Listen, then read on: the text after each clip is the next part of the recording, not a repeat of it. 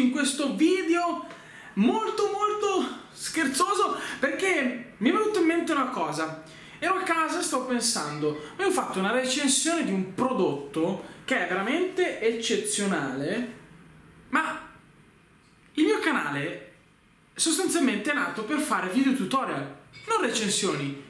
Quindi voglio spiegarvi in un, veramente, in un video veramente iper iper iper veloce come configurare questi Powerline Range Extend. Scusate, questi Powerline. Allora, innanzitutto vado velocemente a prendere i prodotti eccoli qua distinzione tra i due nessuna quindi uno lo mettete vicino al modem router l'altro lo potete mettere per esempio sulla playstation 4 MySky HD piuttosto che il vostro televisore piuttosto che il vostro computer oppure a un access point magari al terzo piano che vi serve per rilanciare il segnale wifi insomma potete metterlo dove volete distinzione tra questi prodotti ve l'ho già detta nessuna quindi o uno o l'altro vicino al modem router non c'è nessun problema, ma una volta messo nella corrente vicino al modem router e cosa dobbiamo fare? Dobbiamo sempre con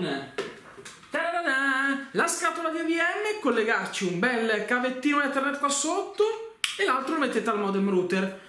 Poi l'altro lo portate nella, diciamo, nella zona dove vi necessita, vi ho detto prima cosa ci potete collegare. Una volta attaccati, tasto di secure da una parte, tasto di secure dall'altra, chiaramente i prodotti devono essere tutti e due collegati e i prodotti sono configurati.